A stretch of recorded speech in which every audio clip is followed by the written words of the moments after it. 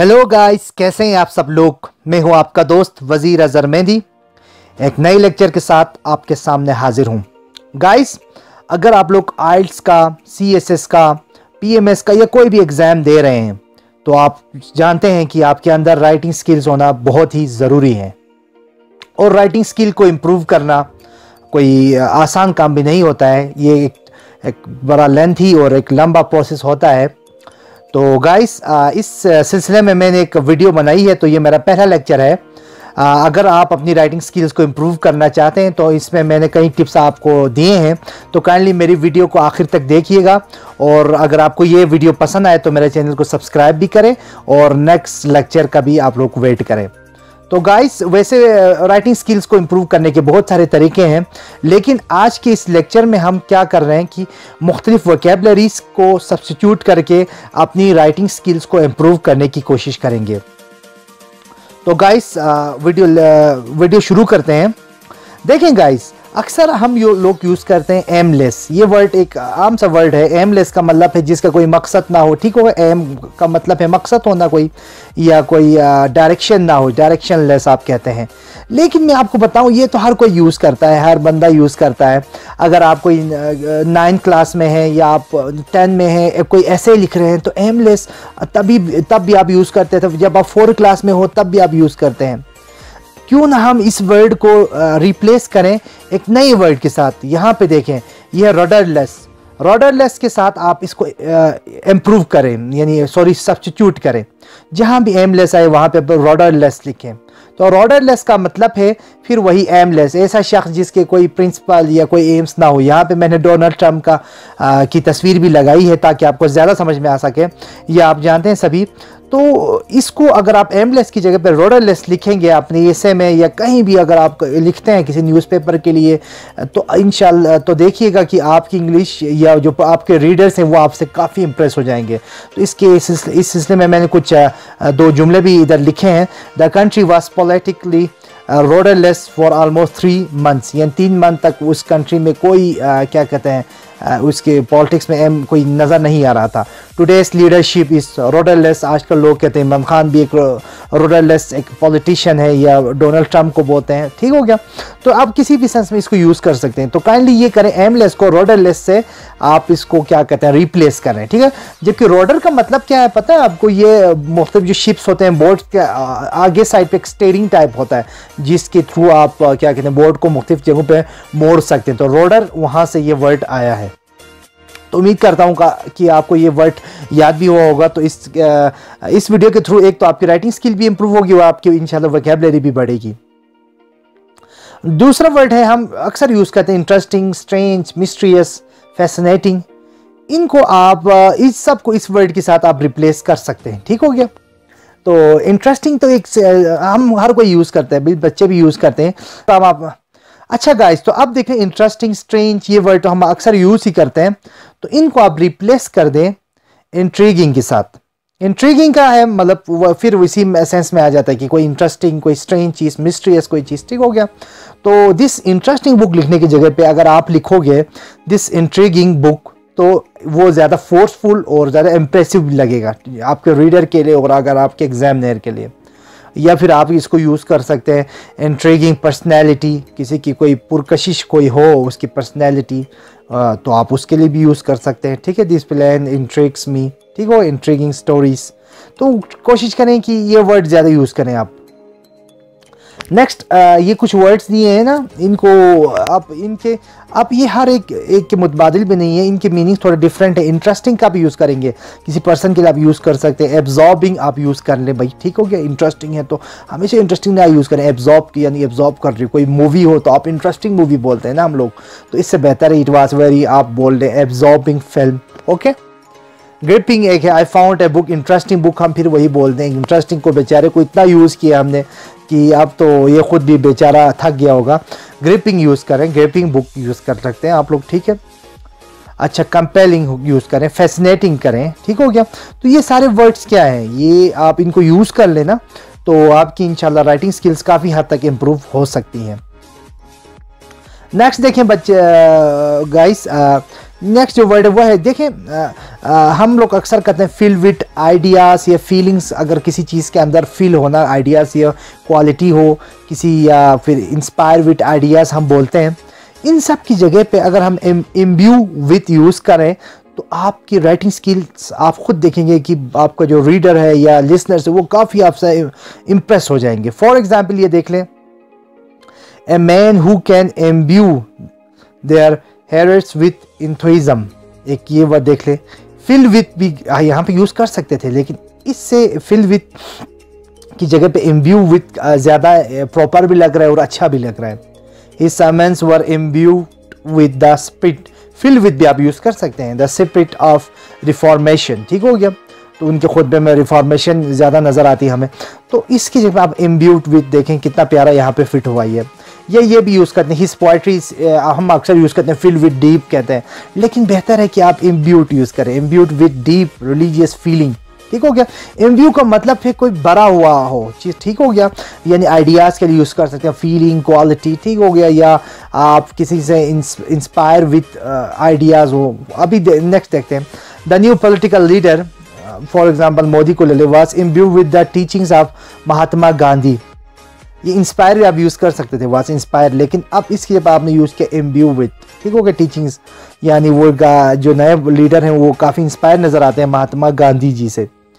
तो अच्छा एक और यहाँ पे नोट करिए लिखा हुआ मैंने देखे don't mix M imbue with imbibe imbibe का मतलब है कुछ खाना लेना एम एम्ब्यू का मतलब क्या है भाई? बड़ा होना ठीक हो गया?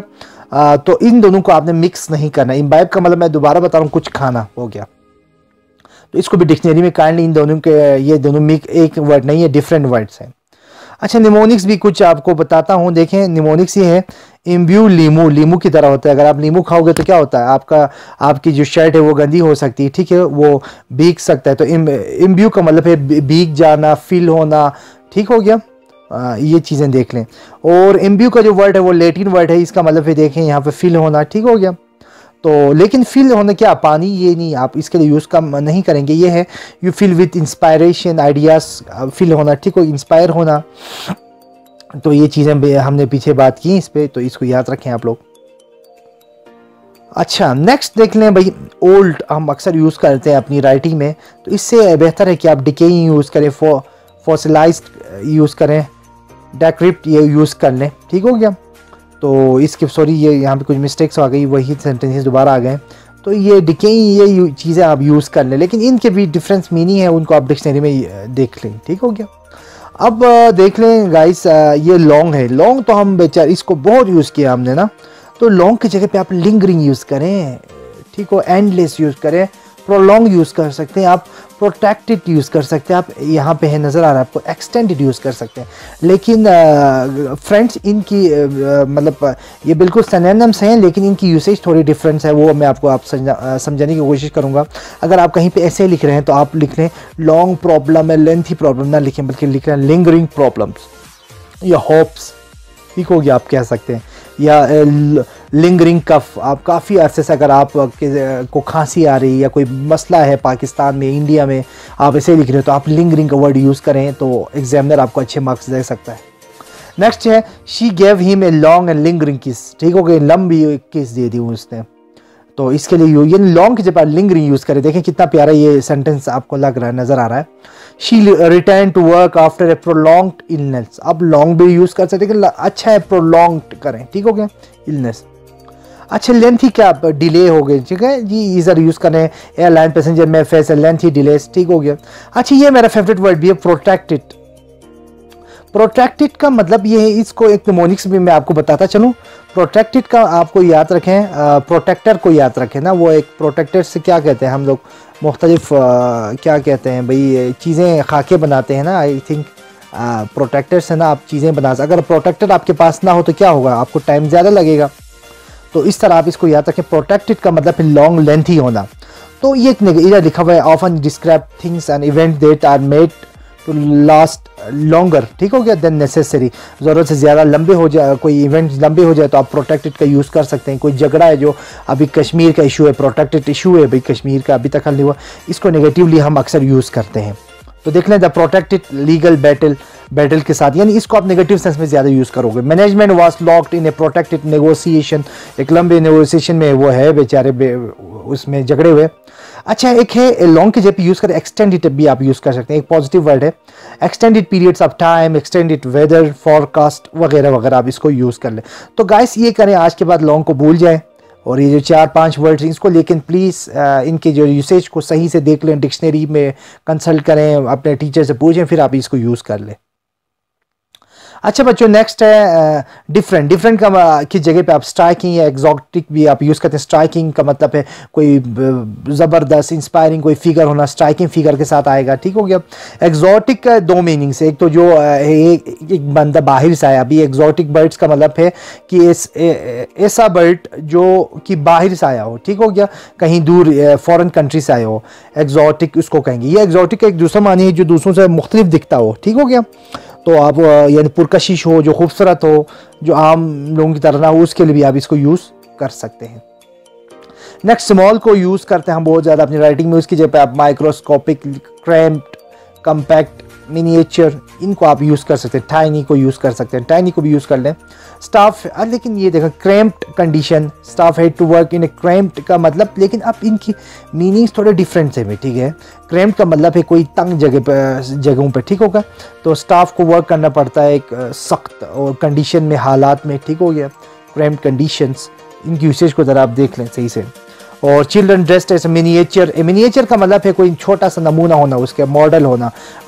अडल्ट के वो मिनिएचर्स होते हैं, ये देखें। लेकिन स्मॉल कमरे का छोटा होना, इन सब की देख लें, आप इनको डायरेक्टली रिप्लेस नहीं कर सकते हैं। मेरा इस वीडियो बनाने का मकसद एक ये भी है कि आप इन चीज़ों को देख लें और कहाँ पे कंपैक्ट जहाँ पे कंपैक्ट यूज़ कर सकते हैं, आप माइक्रोस्कोपिक यूज़ नहीं कर सकते, किसी छोटी चीज़ के लिए यूज़ होता है, ठीक हो गया? किसी जानदार या बेजान के लिए आप यूज़ कर सकते हैं टाइनी भी वही है छोटी चीज़ों के लिए। आप क्रैम की यूसेज अलग है कम्पैक्ट कोई आप कंप्यूटर के साथ यूज़ कर सकते हैं, ठीक है? ऐसी छोटी चीज़ में सारी चीज़ें मौजूद हो। मिनीचर आप किसी शख्स के साथ यूज़ कर सकते हैं ना छोटा वो अच्छा नेक्स्ट हम यूज़ करते हैं नेक्स्ट नेक्स्ट नेक्स्ट नेक्स्ट तो हम बहुत यूज़ कर चुके हैं। अब नेक्स्ट के जगह पे आप लोग करें फॉलोइंग वो यूज़ करें अपकमिंग करें क्लोजर करें, अब यहाँ पे ये वर्ड्स आप रिप्लेस कर सकते हैं। The following are the are both grammatically correct sentences the following day ठीक है द नेक्स्ट स्टेप आप इनको यूज़ कर लें।